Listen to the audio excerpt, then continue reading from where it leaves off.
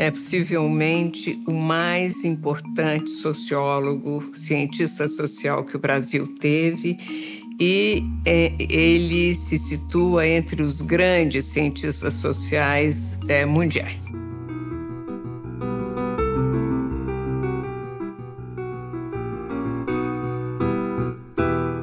A USP é a maior universidade pública do Brasil e daqui saíram alguns dos mais importantes intelectuais do país.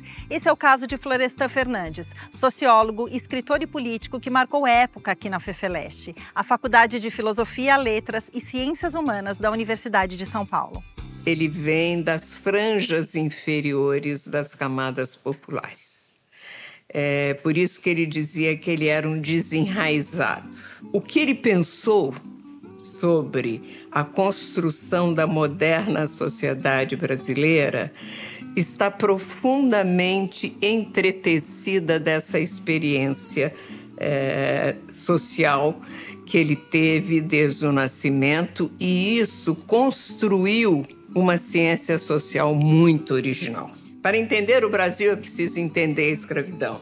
Isso era central nos trabalhos dele. Primeiro, uma relação entre é, relações étnico-raciais e a desigualdade social.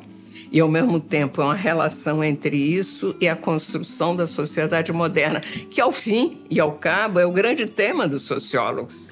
Eu acho que o cientista pode ser objetivo, neutro nunca. Ele começa a Revolução Burguesa no Brasil, que é uma obra notável de interpretação da modernização brasileira, que é um livro de 1975, dizendo que ele escrevia um ensaio que ele só pôde escrever porque ele era um sociólogo, mas também que continha todas as esperanças de um socialista.